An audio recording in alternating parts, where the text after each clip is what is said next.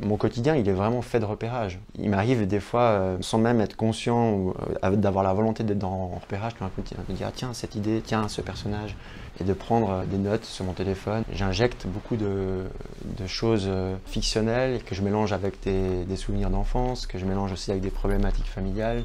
Et tout ça est très intuitif et j'avance comme ça quotidiennement et je rassemble tout ce que j'ai emmagasiné au fil de mes balades et je les partage après avec mes amis ou alors euh, ma co-scénariste. On pose les bases euh, d'un texte qui va, qui va devenir un traitement et qui, euh, qui évolue vers une, version de, de, scénario. Voilà, grosso modo, comment, comment je travaille.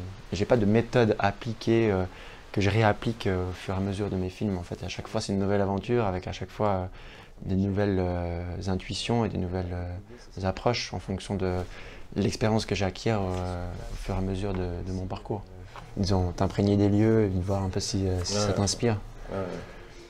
Ce serait pas mal cette année d'avoir euh, la musique en amont, tu vois. Moi, je garde de souvenirs de cette adolescence comme un moment de vie euh, intense, extrême, avec ses côtés extrêmement positifs, extrêmement négatifs, avec des douleurs, avec des, moments d'intensité de joie. Et je trouve que c'est très cinématographique tout ça. Et euh, c'est pour l'instant euh, mes, mes sources d'inspiration.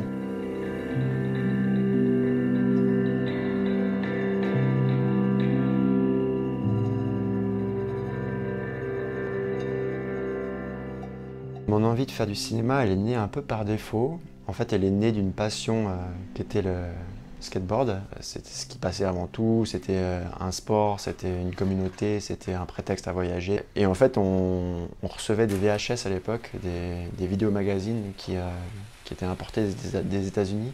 On a très vite voulu reproduire en fait ces, ces vidéos, dans un premier temps avec des cartons à chaussures, on se filmait, on faisait un trou euh, de part et d'autre et on se filmait comme ça jusqu'au jour où on a récupéré une, caméra VHS. On a été obligé d'apprendre à cadrer, à, se mettre en scène, à monter. J'avais euh, Carole Rossopoulos qui avait son bon de montage en Valais qui m'aidait à faire ses, montages. Et c'est un peu ça qui m'a amené sur la voie de la vidéo, l'image en mouvement, quoi, la notion du cadre, la notion de la mise en scène.